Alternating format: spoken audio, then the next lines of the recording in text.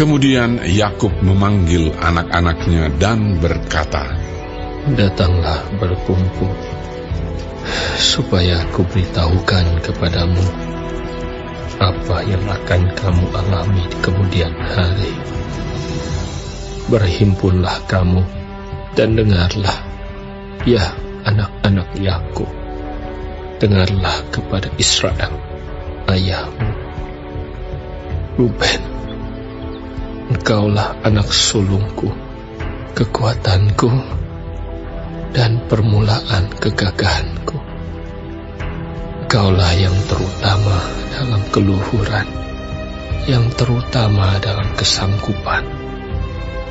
Engkau yang membual sebagai air, tidak lagi engkau yang terutama, sebab engkau telah menaiki tempat tidur ayahmu Waktu itu telah melanggar kesuciannya.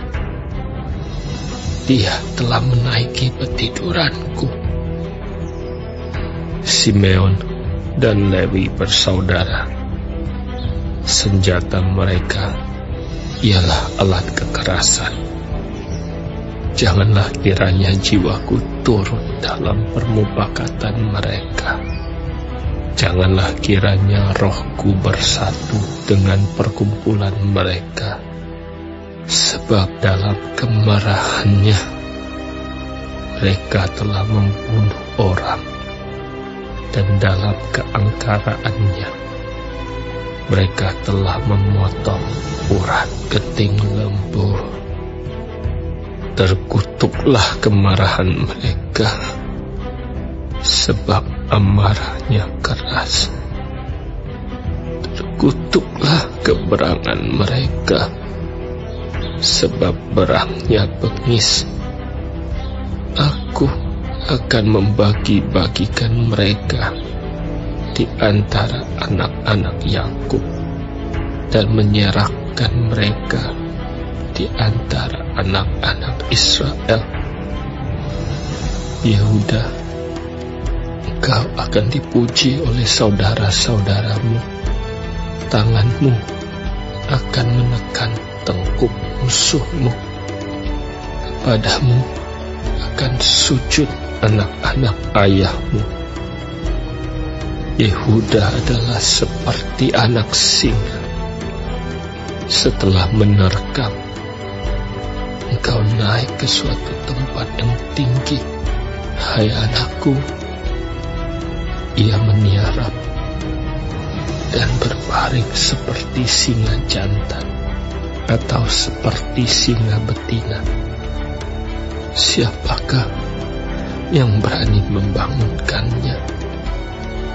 Tongkat kerajaan tidak akan beranjak dari Yehuda ataupun lambang pemerintahan dari antara kakinya sampai dia datang yang berhak atasnya, maka kepadanya akan takluk bangsa-bangsa. Ia akan menambatkan keledainya pada pohon anggur dan anak keledainya pada pohon anggur pilihan ia akan mencuci pakaiannya dengan anggur dan bajunya dengan darah buah anggur. Matanya akan merah karena anggur dan giginya akan putih karena susu. Zebulon akan diam di tepi pantai laut. Ia akan menjadi pangkalan kapal dan batasnya akan bersisi dengan Sidon. Isaka adalah seperti keledai yang kuat tulangnya, yang meniarap di apit bebannya ketika dilihatnya bahwa perhentian itu baik dan negeri itu permai maka disendengkannya lah bahunya untuk memikul. lalu menjadi budak Rodi. Adapun Dan, ia akan mengadili bangsanya sebagai salah satu suku Israel. Semoga Dan menjadi seperti ular di jalan, seperti ular beludak di denai yang memakut tumit kuda, sehingga penunggangnya jatuh ke belakang. Aku menanti-nantikan keselamatannya daripadamu, ya Tuhan. Kan, ia akan diserang oleh gerombolan, tetapi ia akan menyerang tumit mereka. Asher, makanannya akan limpah mewah dan ia akan memberikan santapan raja-raja. Naftali adalah seperti rusa betina yang terlepas. Ia akan melahirkan anak-anak indah. Yusuf adalah seperti pohon buah-buahan yang muda. Pohon buah-buahan yang muda pada mata air dahan-dahannya naik mengatasi tembok. Walaupun pemanah-pemanah telah mengusiknya, memanahnya dan menyerpunya, namun panahnya tetap kokoh dan lengan tangannya tinggal liat. Oleh pertolongan yang maha kuat, pelindung Yakub. Oleh sebab gembalanya gunung batu Israel. Oleh Allah ayahmu yang akan menolong engkau. Dan oleh Allah yang maha kuasa yang akan memberkati engkau.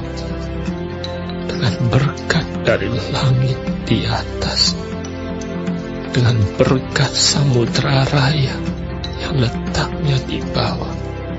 Dengan berkat buah dada dan kandungan. Berkat ayahmu melebihi berkat gunung-gunung yang sejak dahulu, yakni yang paling sedap di bukit-bukit yang berabad-abad. Semuanya itu akan turun ke atas kepala Yusuf ke atas batu kepala orang yang teristimewa di antara saudara-saudaranya. Benyamin adalah seperti serigala yang menerkam. Pada waktu pagi, ia memakan mangsanya. Dan pada waktu petang, ia membagi-bagi rampasannya.